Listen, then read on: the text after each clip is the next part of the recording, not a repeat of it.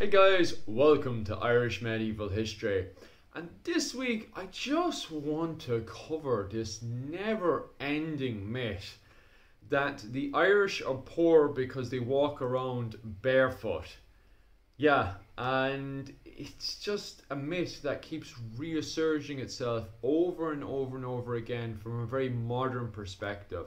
And although I tell people stop looking at medieval history or even history from general from your, modern perspective, people seem to keep doing it. They look at photos and straight away the first thing that alarms them is they're not wearing any shoes. Why are they not wearing any shoes? And therefore, people come to a very quick conclusion that well they're not wearing any shoes because they're poor and you get one photo up one photo up online from the mod medieval period all the way up to the modern period of 1962 and people alarmingly go them poor poor irish people. Look how poor they are. They don't have any shoes on. Clearly these ignorant poor people. And you're like they have a leather bag. They're walking around with a leather bag. How are they poor? Like that dress alone somebody would have had to go get the resources or pay somebody to put that together look how fine stitched that is you know the, even the fact that that person would have a and like most people would have been judged by the cloak um, at that boy that stage known as a shawl uh, by 1962. So the idea that these people are poor, they're far from it. You know, these people work very hard. They work with their hands most of the time. But the, the main thing I'm trying to highlight here is that these people are very active. And therefore, they go around barefoot because Ireland is a very boggy area. Let me reframe that in another way. What you have is them wearing shoes in an urban area, and then when they're out in the countryside, they don't wear shoes. And the reason the way they don't wear shoes out in the countryside is because it's boggy and the terrain is more tough. And you'd find that their shoes of that period would just just tear the crap out of their um, feet. Literally would tear up their feet. So therefore, people would avoid wearing shoes until they went into more urban areas. And then they would wear shoes. And don't get me wrong, just like people are doing today, they do judge each other by their shoes. We know by the finds that people put a lot of detail into shoes of that period. And we find a lot of shoes. There's no, like, people are not poor, they're not missing shoes. They just, when they go into the countryside, if you were to wear those fine shoes, not only is it really tough on your feet because they're uncomfortable of the period, you would also ruin your shoes with the bog and the dirt. You know, so as we gradually over time, and as the car, mostly the car gets more and more roads become more popular, and you have more tarmac roads, people start to adapt to more shoes. Because like if you're out in the boggy side, you, you don't really have any use having shoes on because the ground is so soft and so good to your feet, and still is today. Uh, Rambling Kern had made a video and he highlights this. You know, I can't remember if it's in the video itself or whatever. Uh, but he does say that he actually found on the boggy ground it was really comfortable for him to walk around bare feet. Okay?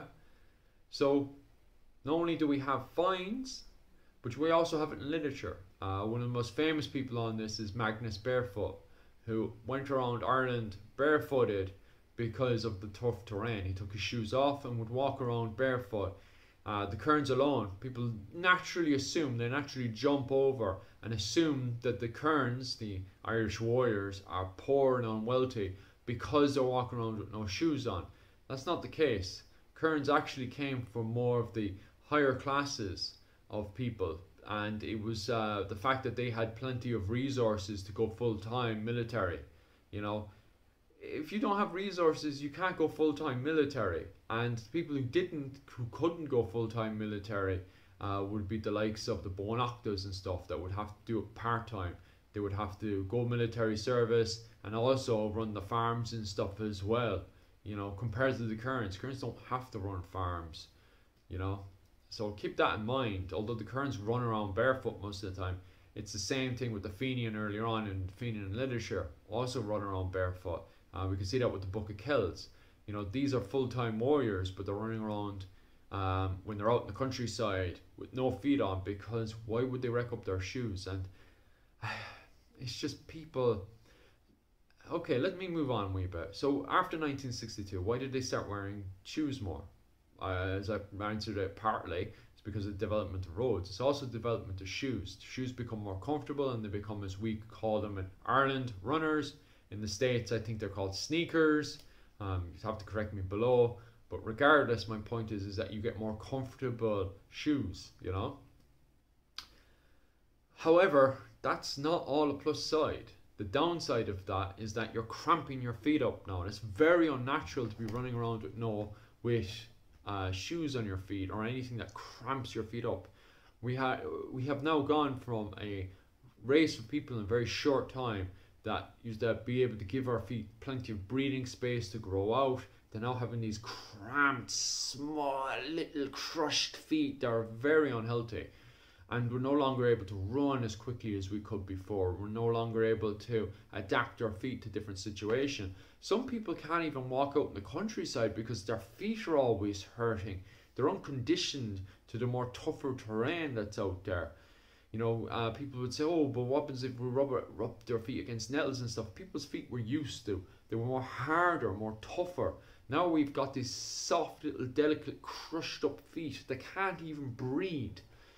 You know, they would say that um, these days, oh, my feet are cold. People back then, their feet didn't get cold. Their feet could breathe because they would put the correct warm kit on.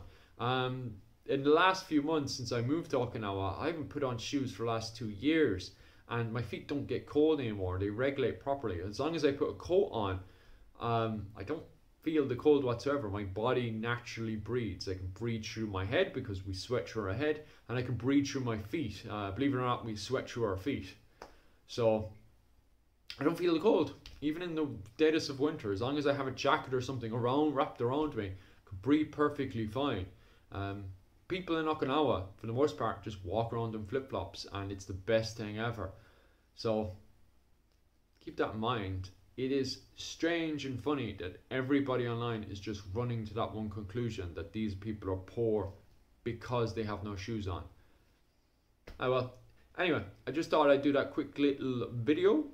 I am super busy this week. Not only do I have a lot of karate going on in Okinawa as I was staying there, um, I also had my birthday yesterday. Well, hey! So wish me a happy birthday. Anyway, other than that, guys. Oh, and one more thing. Um, definitely go over to the old. Oh, never mind. Anyway, other than that, guys, thanks very much and all the best.